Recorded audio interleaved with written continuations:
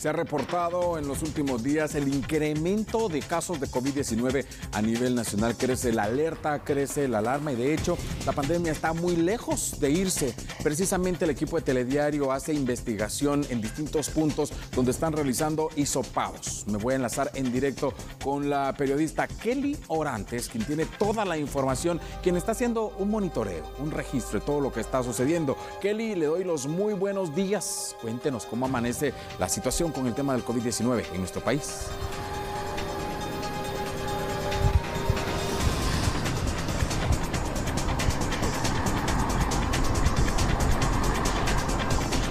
Televidentes compañeros, un gusto saludarlos. Hay que mencionar que de 50 a 70 pruebas salen positivas al día. Acá específicamente en el puesto ubicado en la zona 1 capitalina, específicamente en el Parque Central. Y es que ya usted tiene las imágenes en pantalla de cómo luce el panorama este viernes y la fila está bastante larga de personas que buscan hacerse la prueba de COVID-19.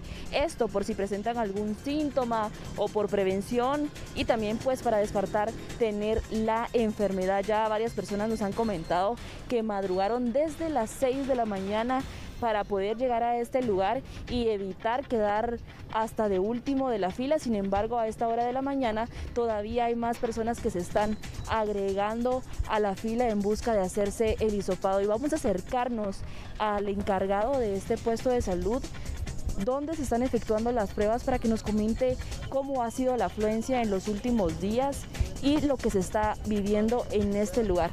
Y precisamente ya observamos acá cómo se están dando las indicaciones.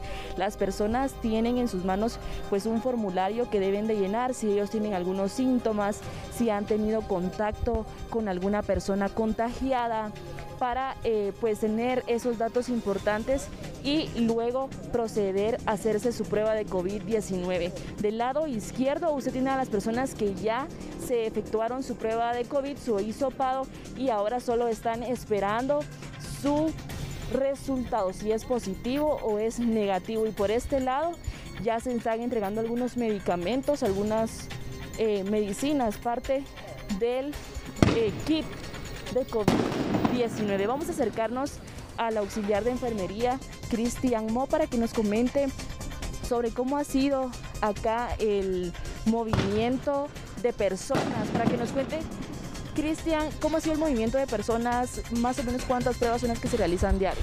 Fíjese que ahorita en esta semana aproximadamente de 150 a 200 pruebas diarias, de las cuales de 50 a 70 son positivos. ¿La afluencia de personas ha sido alta, ha ido bajando? No, ha ido en aumento. Últimamente ha ido en aumento la cantidad de personas que vienen diarias a poder realizarse el hisopado. Pudimos observar que están entregando algunos medicamentos. ¿Esto es parte del kit contra el COVID-19 para combatir la enfermedad? Exactamente, es para poder este para poder controlarlo y para que no tenga los síntomas así muy fuertes la persona.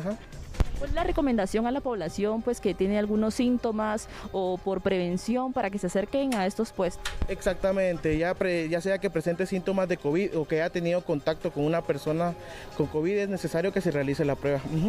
Muchas gracias Cristian, esas son las declaraciones, ya usted tiene las imágenes. Acá, ellos también tienen preparados los kits contra el COVID-19 para aquellas personas que salgan positivas a la enfermedad. Y lo más recomendable es que tomen días en cuarentena para poder estar en casa y alejarse de la familia. Vamos a movernos para que usted tenga más eh, amplitud de cómo está la fila acá en la plaza central.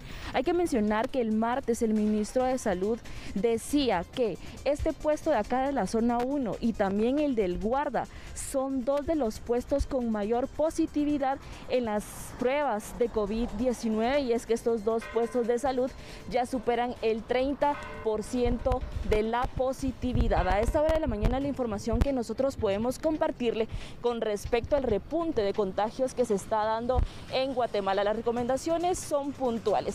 Siga utilizando la mascarilla, aunque ya en algunos municipios es recomendable retirársela porque ya se encuentran en verde.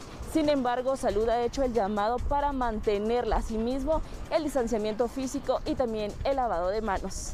Con imágenes de Diego Lin, soy Kelly Orantes. Yo regreso al estudio principal. Kelly,